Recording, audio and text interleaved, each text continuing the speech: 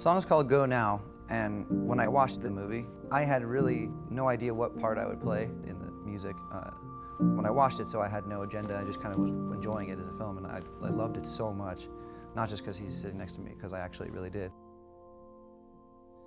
So here we are, we got another chance for life. It's what you want,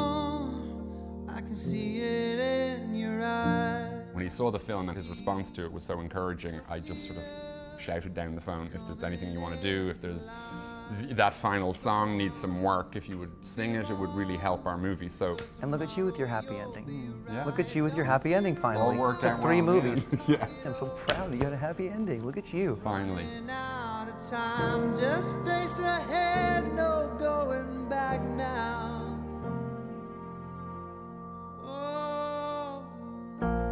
I don't think that at this point in time anybody is able to cohesively tie music to movies as brilliantly as he does it. I'm just hanging there.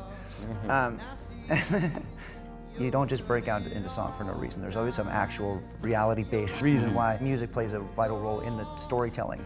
And so I think that's what I love about it is that it doesn't feel like there's that uncomfortable kind of contact Right. embarrassment Yeah. from people going into song when they're not supposed to be that I personally can't really deal with. Mm-hmm. And so because I was able to love what he did, because I thought that he was so great at maneuvering around all those things, he's the best in the business at doing that, I think. you know is true. And I said, go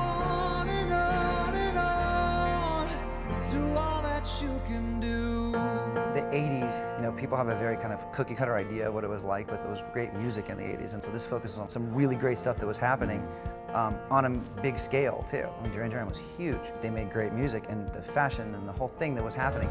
But you never feel at all like it's parodying the time. It seemed like a really realistic take on what was happening in the world.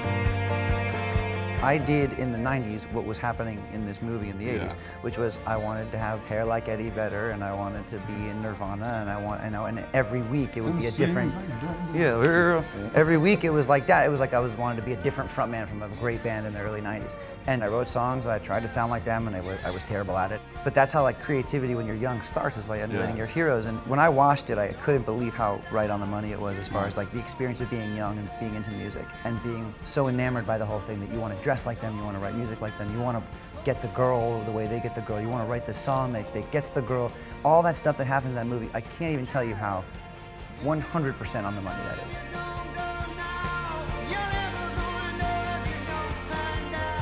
It's a fantastic movie.